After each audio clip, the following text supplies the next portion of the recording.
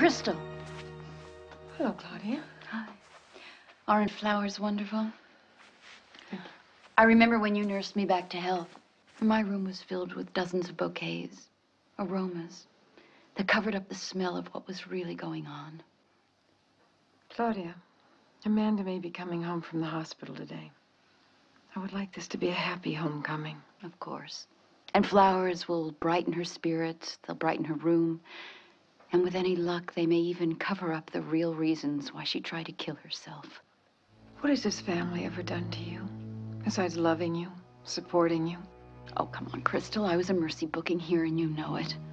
Having little old Claudia around me, the rest of you feel all the more superior. Blake has cared for you like his own daughter. And you?